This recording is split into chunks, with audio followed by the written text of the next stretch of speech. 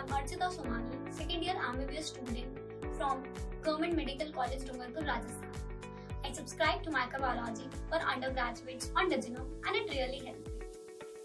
It's the foremost quality, the web content I have come across. Microbiology include the general microbiology, immunology, hospital infection and control, and systemic microbiology. It's the best way to enhance the undergraduate theory and practical skills because it follows a case-based approach. I studied microbiology from DigiNerve and I didn't feel the need to approach any other research. I could study the book Essentials of Medical Microbiology while also getting clarity from Dr. Apurba Sastry's lectures. 4000 MCQs and the concise notes at the end of each chapter are like cherry on the cake. It is one of the fewest uncompleted way to learn the same content that we are taught in the class. It's and indeed a good app for every medical aspirant.